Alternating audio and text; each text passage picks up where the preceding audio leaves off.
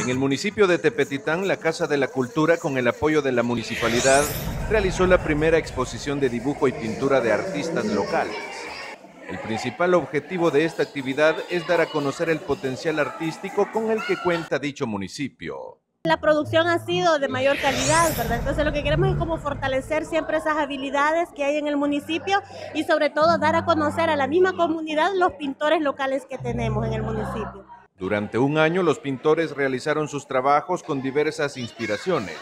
Retratos, monumentos y paisajes son algunas obras que destacaron en dicha galería. Eh, creo que lo más importante es inculcarle a los jóvenes que usen el tiempo en algo productivo, eh, sea independientemente de arte, pintura, sea música, sea danza, pero que sea algo realmente productivo y nutritivo para la sociedad, tanto como para ellos.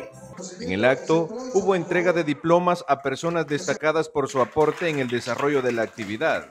Además, participaciones por parte de artistas invitados.